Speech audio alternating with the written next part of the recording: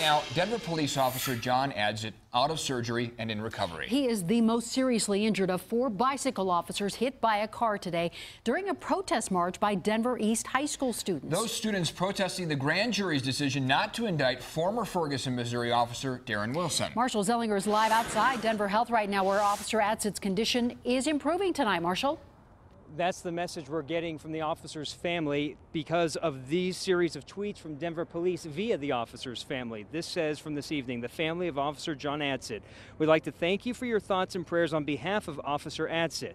It continues. Please continue to pray as we trust the Lord for a complete recovery. We ask for your respect for our privacy as we gather for John. ambulance code 10 to Colfax and High. We have an officer down. Four Denver police bicycle officers injured when the driver of this black Mercedes lost control on Colfax at High Street. Need those ambulances in here right away. Started driving on the sidewalk. The first one just fell there, and the second he was dragged all the way here.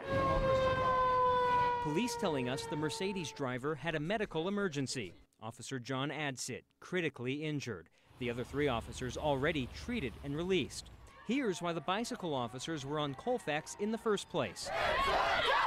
You can see them escorting East High School students marching in protest of the grand jury decision in Ferguson, Missouri. Just kind of scary that it was so close to so many students. About 500 left school this morning and marched to Civic Center Park and then the 16th Street Mall. It was peaceful and we walked like everywhere, so I think it was really good. We asked quite a few students why they were protesting. As teenagers, many people discredit our thoughts, and I think that it's great that people are hearing what we have to say. Others were hamming for the camera.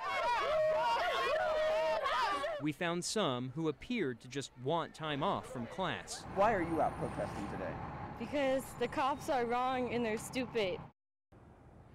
It's important to point out that last comment from the student was prior to the accident involving the officers. We've confirmed that this was a student-oriented protest, that it was not planned by anyone, a teacher at the school, and the principal put a message on the uh, high school website saying that he was involved driving behind the protest once it started marching down Colfax to make sure all students would be safe. Reporting live, Marshall Zellinger, 7 News.